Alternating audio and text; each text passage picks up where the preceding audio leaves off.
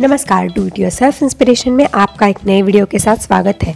और आज मैं आपके लिए एक नए शेक की रेसिपी लाई हूँ चेरीज़ वनीला आइसक्रीम और चौको के साथ। तो ये कैसे बनता है, मैं अभी आपको दिखाती हूँ। ये गर्मियों के लिए बहुत ही ताज़ा और स्वादिष्ट है। इसके लिए आपको चाहिए वनीला आइसक्रीम दो बड़े कप फिर ये चेरीज़ पाँच छः चेरी का juice choco sauce chocolate sauce सजावट के लिए, और ये है क्रीम एक चेरी छोड़ के मैंने सारी चेरीज़ के ऊपर का निकाल लिया है। ये सजावट के लिए एक चेरी है।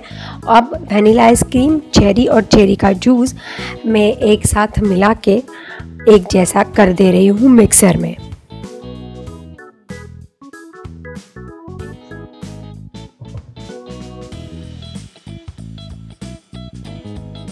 तो ये जो हुआ है, ये जूस बाजू में रख के अब मैं सजावट के लिए तैयारी करती हूँ। तो मेरे पास ये बड़ा ग्लास और ये एक स्ट्रॉ है।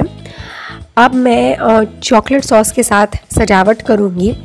तो मैं ग्लास उसके लिए थोड़ा टेढ़ा रख के उस पर ग्लास पे गोल घुमाकर चॉकलेट सॉस डालूँगी। जब मैं ग्लास सीधा रखूँगी, अब जैसे देख रहे हैं कि ये चॉकलेट सॉस नीचे जा रहा है। और अब मैं, मैंने इसमें ये बना हुआ जो शेक है, वो डाल दिया है। ऊपर से आएगा क्रीम। सजावट के लिए जैसे मैंने बोला था, ये एक चेरी और फिर स्ट्रॉ। तो मुझे बताइए ये रेसिपी आपको कैसी लगी?